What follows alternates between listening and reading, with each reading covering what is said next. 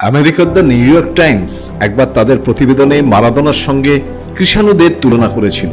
ওই প্রতিবেদনে বলা হয়েছিল, মারাদোনা পরবর্তীকালে যদি কয়েকজন ফুটবলার তাদের নান্দনিক ফুটবল দিয়ে দর্শকদের মুগ্ধ করে থাকেন, তবে ভারতের কৃষাণু দিয়ে তাদের মধ্যে একজন, যা নিশ্চিতভাবেই ভারতীয় ফুটবলের জন্য এক অনন্য সম্মান।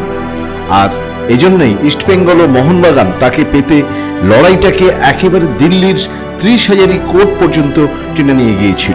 কৃষাণু মাত্র একচল্লিশ বছর বয়সে দু সালে পৃথিবী ছেড়ে চলে গেছেন। কিন্তু পায়ে বল নিয়ে বাঁ পায়ের তার টোকা কিংবা বিপক্ষের সামনে দাঁড়িয়ে এক পাক ঘুরে যাওয়া আর বিপক্ষ বুহ ভেদ করার শিল্প এখনও মানুষ মনে রেখেছে।